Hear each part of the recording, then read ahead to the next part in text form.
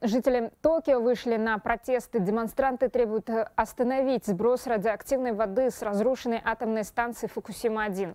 Недовольные собрались перед зданием офиса премьер-министра Японии. Ранее власти заявили, что не будут сливать сточные воды без согласия людей. Однако теперь стало известно о предстоящем сбросе радиоактивных отходов из-за переполненных хранилищ.